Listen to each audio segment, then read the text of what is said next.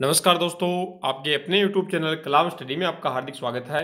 दोस्तों, आज के इस वीडियो में चर्चा करेंगे आज के करंट अफेयर्स के बारे में। और आज है सात जून दो हज़ार उन्नीस तो आज हम देखेंगे सात जून का करंट अफेयर्स। इससे पहले दोस्तों, एक क्वेश्चन देख लेते हैं, जो कल वाले वीडियो में हमने आपसे पूछा था, उसका आंसर क्या होगा? तो वह क्वेश्चन है दोस्तों, भारत के इतिहास में कौन सबसे युवा सांसद बने हैं? हमारे वर्तमान में जो भारत के इतिहास में जो सबसे युवा सांसद हैं, उसका नाम है चंद्राणी मुर्मू। चंद्राणी मुर्मू कौन है? चंद्राणी मुर्मू किस पार्टी से सांसद है दोस्तों? तो ये है बीजेपी से सांसद हैं, नवीन पटनायक की जो उड़ीसा से हैं, उड़ीसा से ये सांसद बनी है। अब देखते हैं दोस्तों आज का करंट अफेयर्स। इससे पहले दोस्तों आपसे एक निवेदन है, यदि आपने अभी तक हमारी वीडियो को लाइक नहीं किया है तो वीडियो को लाइक कर दें। यदि चैनल को सब्सक्राइब नहीं किया है तो नीचे दिए गए लाल सब्सक्राइब के बटन को दबाकर चैनल को सब्सक्राइब कर लें तो उसके पास जो बेल आइकॉन घंटे का सा बना हुआ है, उस घंटे के निशान को भी ज़रूर दबा दें, जिससे हमारे आगे आने वाले सभी वीडियो की सूचनाएँ तुरंत वीडियो डालते ही आपको मिल सके। दोस्तों, आज का वीडियो शुरू करते हैं। आज का जो पहला क्वेश्चन है करंट अफेयर्स का, वह है इस्लामिक सहयोग संगठन का चौदवा शिखर सम्मेलन कहाँ पर आयोजित किया गया है? तो ये कहाँ पर किया गया है? ये किया है मक्का में। तो इसका राइट आंसर क्या हो गया? मक्का। तो मक्का में किया गया है तो इस इस्लामिक सहयोग संगठन के बारे में जानते हैं। ये फ़ोटो में आपको सम्मेलन की तस्वीरें दिखाई दे रही है। द चौदवा इस्लामिक समिट इन मक्का। तो इसके बारे में जानते हैं दोस्तों। तो इस्लामिक सहयोग संगठन है ओआईसी है, जो संयुक्त राष्ट्र के बाद सत्तावन राज्यों के सदस्यता वाला दूसरा सबसे बड़ा अंतर्राष्ट्रीय या अंतर सरकारी संगठन है। दूसरा जो पॉइंट है, वह है संगठन की स्थापना कब की गई? तो इस संगठन की स्थापना, इस्लामिक सहयोग संगठन की स्थापना की गई 25 सितंबर उन्नीस को मोरक्को के राज्य रबात में हुए ऐतिहासिक शिखर सम्मेलन के एक निर्णय से इसकी शुरुआत हुई थी। दोस्तों, इस्लामिक सहयोग संगठन के जो महासचिव हैं, वह कौन है? वह हैं यूसेफ बिन अहमद बिन अब्दुल रहमान अल ओथाइमेन है। इसके जो वर्तमान महासचिव हैं। अब जानते हैं क्वेश्चन के बारे में जानकारी। दोस्तों, सऊदी अरब के मक्का में आयोजित इस्लामिक सहयोग संगठन ओआईसी के चौदहवें शिखर सम्मेलन की मेजबानी Saudi king Salman bin Abdul Aziz Al Saud के द्वारा की गई थी। तब बैठक में का आधिकारिक एजेंडा था मुस्लिम दुनिया में मौजूदा मुद्दे और हाल के घटनाक्रम में संबोधित करने के लिए ओआईसी के सदस्य राज्यों की एक एक संख्या में वहाँ पर मौजूद थे। अगला क्वेश्चन देखते हैं। अगला क्वेश्चन दोस्तों इंपॉर्टेंट है। Cricket world cup the Indian challenge. ये एक पुस्तक अभी हाल ही में लॉन्च हुई है। इस पुस्तक के लेखक कौन है? तो इस पुस्तक के लेखक है ये किसी न किसी एग्ज़ाम में क्वेश्चन ज़रूर पूछा जाएगा। तो इस पुस्तक के लेखक है दोस्तों, आशीष रे। तो आशीष रे, इस पुस्तक के लेखक है। पुस्तक का नाम क्या है? Cricket world cup the Indian challenge. तो इसके बारे में जानते हैं। ये फ़ोटो में आपको पुस्तक का जो कवर पेज है वो दिखाई दे रहा है। Cricket world cup the Indian challenge. Ashis Ray, ये लेखक का नाम दिया गया है। तो फ़ोटो में आपको विराट कोहली दिखाई दे रहे हैं। इस पुस्तक के बारे में जानते हैं। तो cricket world cup the Indian challenge पुस्तक के जो लेखक हैं, वह अनुभवी ब्रॉडकास्टर और लेखक आशीष रे के द्वारा भारतीय परिप्रेक्ष्य से टूर्नामेंट के इतिहास पर एक पुस्तक को इंग्लैंड और वेल्स क्रिकेट बोर्ड के मुख्य कार्यकारी टॉम हैरिसन के द्वारा औपचारिक रूप से इसका अनावरण किया गया है। अगला क्वेश्चन देखते हैं। अगला क्वेश्चन है, विश्व बैंक ने किस राज्य के स्वास्थ्य प्रणाली सुधार कार्यक्रम के लिए दो सौ सत्तासी मिलियन डॉलर के ऋण समझौते पर हस्ताक्षर किए हैं? तो किस विश्व बैंक ने किए विश्व बैंक ने किए किस राज्य के साथ किए हैं? तो उस राज्य का नाम है दोस्तों, तमिलनाडु। तमिलनाडु के साथ किए तो इसका राइट आंसर क्या हो जाएगा? तमिलनाडु, हम जानते हैं तमिलनाडु के बारे में। तो वर्ल्ड बैंक ने समझौता किया है। तो तमिलनाडु के दोस्तों, वर्तमान जो सीएम है, वह कौन है? एक ये पलाने जो पलानी स्वामी है, वह सीएम है। राज्यपाल बनवारी लाल पुरोहित हैं।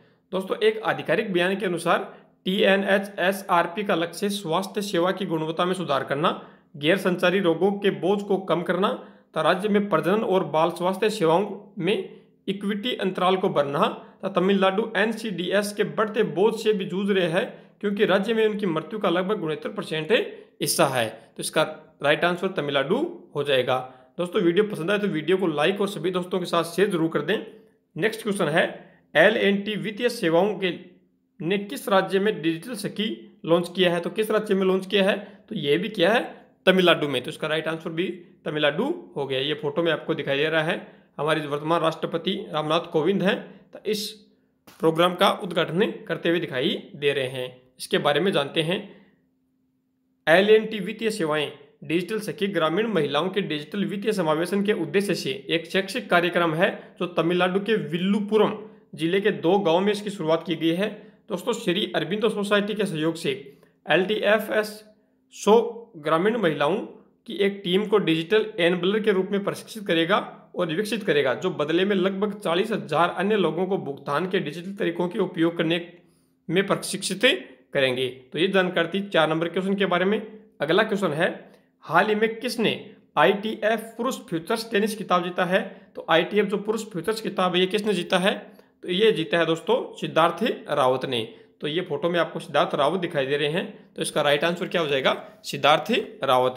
तो इसके बारे में जानते हैं दोस्तों कि तीसरे जो वरीय सिद्धार्थ रावत हैं, उसने जापान के रियो नोगुची को हराकर पच्चीस हज़ार डॉलर आईटीएफ पुरुष फ्यूचर टेनिस टूर्नामेंट में अपना पहला किताब जीता है।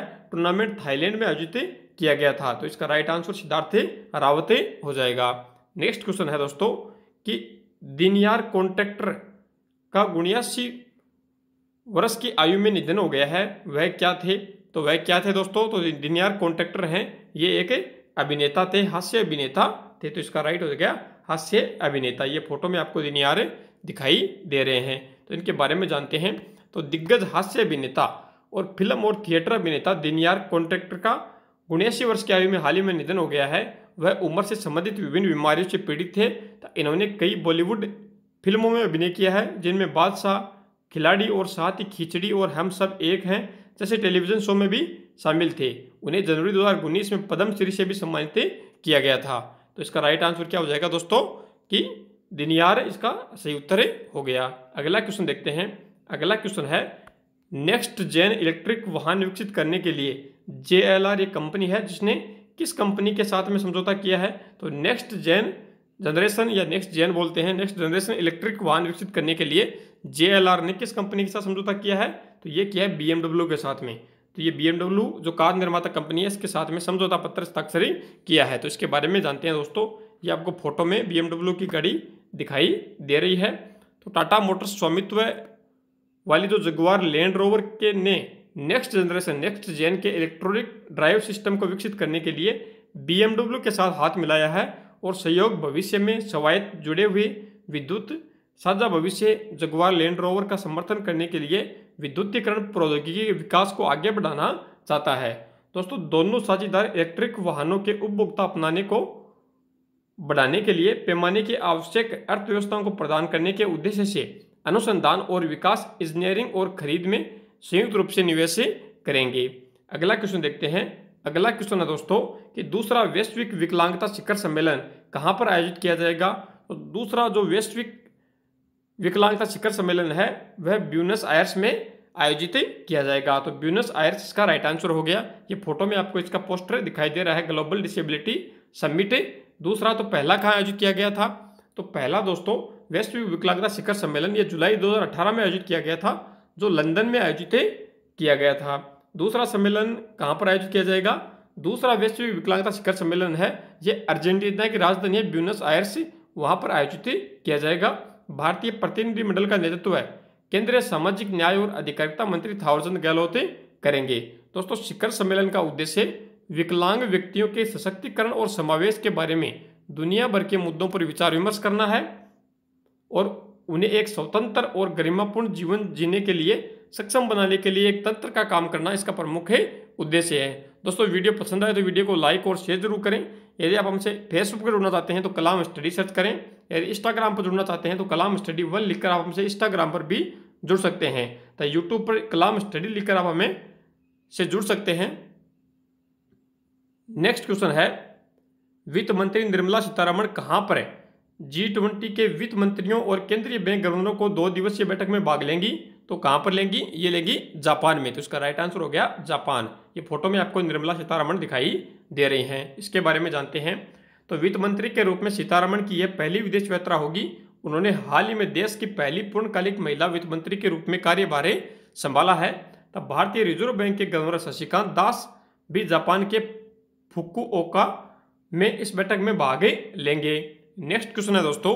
फुटबॉल में सर्वाधिक कैप्ड भारतीय खिलाड़ी कौन बन गए हैं? तो कौन बने हैं? ये बने सुनील छेत्री। तो फ़ोटो में आपको सुनील छेत्री दिखाई दे रहे हैं, जो बाइचिंग बूटिया को पीछे छोड़कर टॉप पर आ गए हैं। तो इनके बारे में जानते हैं दोस्तों कि सुनील छेत्री ने बाइचिंग जो बूटिया है, उस, उसके 107 अंतर्राष्ट्रीय मैचों को पीछे छोड़ते हुए भारत के सर्वाधिक कैप्ट खिलाड़ी बन गए हैं।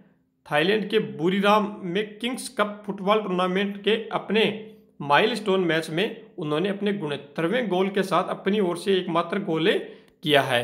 तो ये था दोस्तों हमारा आज का करंट अफेयर्स अब एक क्वेश्चन आपके लिए छोड़कर जा रहा हूँ, जिसका आंसर आपको नीचे कमेंट बॉक्स में ज़रूर देना है। वह क्वेश्चन है दोस्तों कि वैश्विक लैंगिक समानता सूचकांक में भारत का कौन सा स्थान रहा है? एक सौ तेरहवा, नब्बेवा, एक सौ पाँचवा या पिचानवा? इस चारों में से जो भी राइट आंसर होगा वह आप हमें नीचे कमेंट करके ज़रूर बताएँ, जिससे पता चलता है कि आप कितना अवेयर हैं, कितना करंट अफेयर से पढ़ रहे हैं। दोस्तों वीडियो पसंद आए तो वीडियो को लाइक करें सभी दोस्तों के साथ शेयर करें। चैनल को सब्सक्राइब नहीं किया है तो नीचे दिए गए लाल सब्सक्राइब के बटन को दबाकर चैनल को सब्सक्राइब ज़रूर कर लें और जिन्होंने सब्सक्राइब कर रखा है पहले पहले से, उन्होंने पास के जो बेल आइकन घंटे का सामना हुआ है, उस घंटे के निशान को अभी तक नहीं दबाया है तो एक बार उस घंटे के निशान को ज़रूर दबा दें, जिससे हमारे आगे आने वाले सभी वीडियो की सूचनाएँ तुरंत वीडियो डालते ही आप तक पहुँच सके। धन्यवाद दोस्तों।